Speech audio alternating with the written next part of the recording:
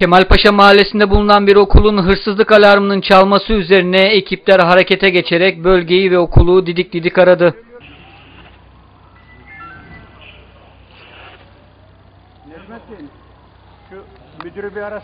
Olay Yurt Sokak'ta bulunan Şehit Fevzi Başaran Anadolu İmam Hatip Lisesi'nde meydana geldi. Ee, alarm çaldı polisler burada. Ee,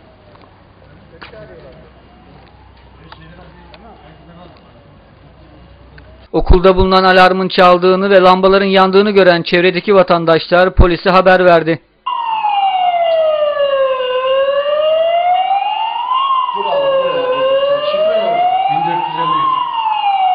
Okulun camının açık olması ve duvardaki ayak izlerinden hırsızın içeride olabileceğinden şüphelenen ekipler çalışma başlattı.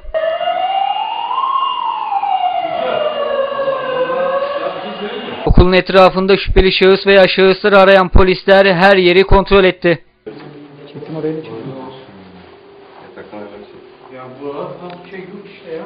O da var. Bunun üstü de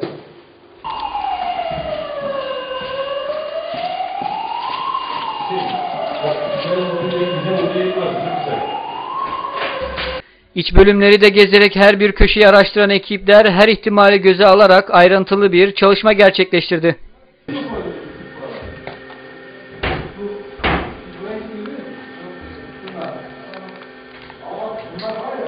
Gecenin sonunda ise araştırmayı sonlandıran polis ekipleri şahıs veya şahısların izine rastlayamadı.